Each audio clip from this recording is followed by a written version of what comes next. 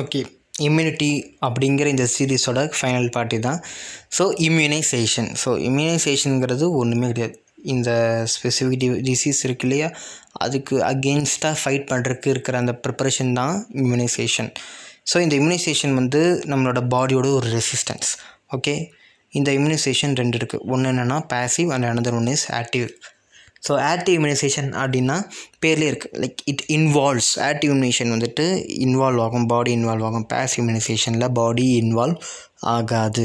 So அதுதான் பேசிக்காக நம்ம தெரிஞ்சுக்கணும். ஸோ பேசிவ் இம்யூனைசேஷனுங்கிறது என்னென்னா it this immunity occurs without challenging the human body அதை ஹியூமன் பாடி எந்த வேலையுமே இதுக்காக செய்யறதுக்கு முன்னாடியே அவர் இம்யூனிட்டி பேசிவ் இம்யூனைசேஷன் வந்துட்டு it acts on the antigens or foreign products ஓகேவா ஸோ இதுலேயும் வந்து ரெண்டு இருக்குது. ஒன்று பேசிவ் நேச்சுரல் இம்யூனைசேஷன் அனதர் ஒன்று இஸ் பேசிவ் ஆர்டிஃபிஷியல் இம்யூனைசேஷன் அந்த பேசிவ் நேச்சுரல் இம்யூனைசேஷனுங்கிறது எப்படின்னா லைக் இந்த இம்யூனிட்டி வந்துட்டு is acquired from the mother before and after birth அம்மாலேருந்து தான் வி கெட் திஸ் பட் இது என்ன ஆகும்னா இந்த இந்த இம்யூனிட்டி வந்துட்டு அம்மாவோட ஃபீட்டஸ் வந்து நமக்கு ட்ரான்ஸ்ஃபார்ம் ஆகிருக்கும் லைக் ஆன்டிபாடிஸாக ஐஜிஜி ஆன்டிபாடிஸாக வந்து ப்ளசண்டாலேருந்து ட்ரான்ஸ்ஃபார்ம் ஆகிருக்கும் ஆல்சோ பிரெஸ்ட் மில்க்லேருந்து நமக்கு உடம்புக்கு ட்ரான்ஸ்ஃபர் ஆகிருக்கும் ஸோ தட் தான் இது வந்து பேசிவ் இம்யூனிட்டி நம்ம கன்சிடர் பண்ணுறோம் நம்ம உடம்புலேயே டெவலப் ஆகாமல் வெளியிலேருந்து வருது. அம்மா கிட்டேருந்து தான் வருது. பட் ஆனால் நம்ம ஓன் பாடியிலேருந்து சிந்தசைஸ் ஆகாமல் அம்மாவோட ஃபீட்டஸ்லேருந்து வர்றது அந்த அம்மாவோட மில்க்லேருந்து வர்றது வந்து we considered as passive natural immunization அப்படின்னு சொல்கிறாங்க நெக்ஸ்ட் வந்துட்டு பேசிவ் ஆர்டிஃபிஷியல் இம்யூனைசேஷன் இதே மாதிரி நம்மளோட இம்யூனிட்டி சப்ஸ்டன்ஸ் வந்துட்டு நம்ம உடம்புலேருந்து செக்ரேட் ஆகாமல் வெளியிலேருந்து வரும்.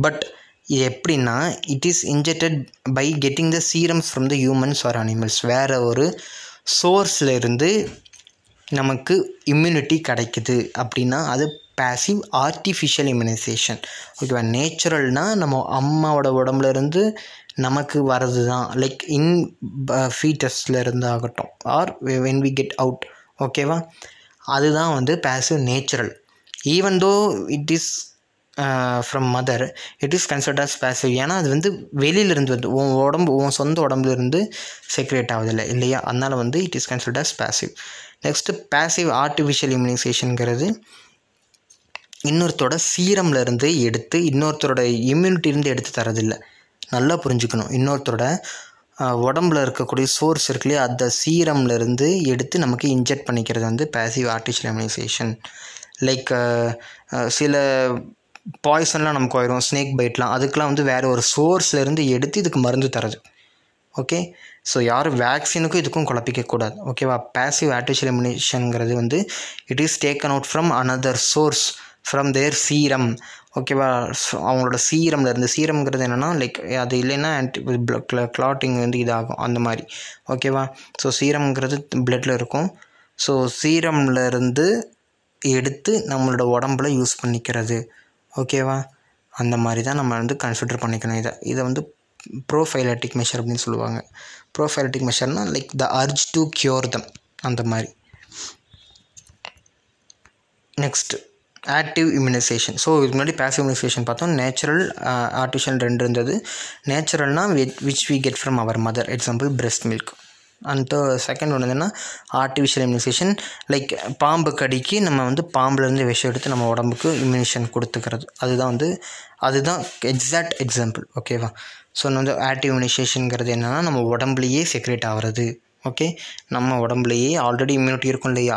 அதுதான் வந்து ஆக்டிவ் நேச்சுரல் இம்யூனைசேஷன் அதாவது நம்மளோட ஓன் இம்யூன் சிஸ்டமே வந்துட்டு ஆன்டிபாடிஸ் ப்ரொடியூஸ் பண்ணி நம்ம அந்த நம்ம உடம்புல இருக்கிற ஆன்டிஜனுக்கு அகேன்ஸ்டாக ஆட் பண்ணுறதா வந்து ஆக்டிவ் நேச்சுரல் இம்யூனைசேஷன் அதே ஆக்டிவ் ஆர்டிஃபிஷியல் இம்யூனைசேஷனுங்கிறது வேக்சின்ஸ் அண்ட் டாக்ஸாய்ட்ஸால் வந்துட்டு க்யூர் பண்ணுறது வேக்சின்ங்கிறது என்னென்னா இன்னொருத்தர் உடம்புல க்யூரான அந்த ஆன்டிபாடிஸ் இருக்கும் இல்லையா அதை எடுத்து நம்ம உடம்புல வச்சுக்கிறது தான் வேக்சின்ஸ் ஸோ நம்ம பேசிவ் ஆர்டிஃபிஷியல் இம்யூனைசேஷனுங்கிறது வேறு ஒரு சோர்ஸ்லேருந்து எடுக்கிறது.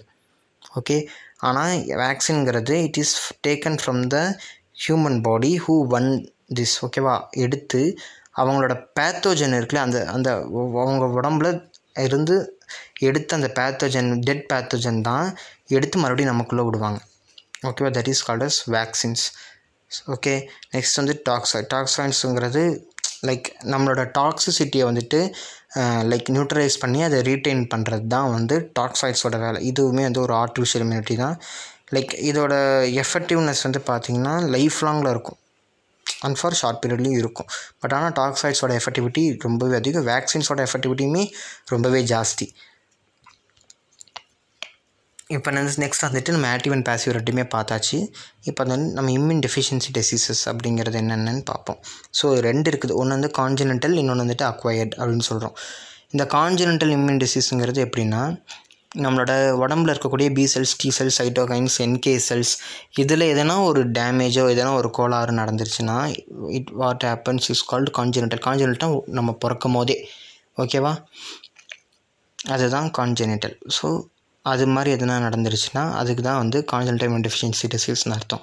அக்வைர்டு இம்யூன் டெஃபிஷியன்சி சிஸ்டம் டிசீஸ்னால் நம்ம உடம்புல வெளியிலேருந்து ஒன்று வந்து நம்மளோட இம்யூன் சிஸ்டம் வந்துட்டு லைக் இட் டிஸ்ட்ராய்ஸ்னால் அதுதான் வந்து acquired immunodeficiency disease like AIDS AIDS என்ன பண்ணோன்னா நம்மளோட இம் டீ செல்ஸை தான் ஃபஸ்ட்டு அடிக்குமே.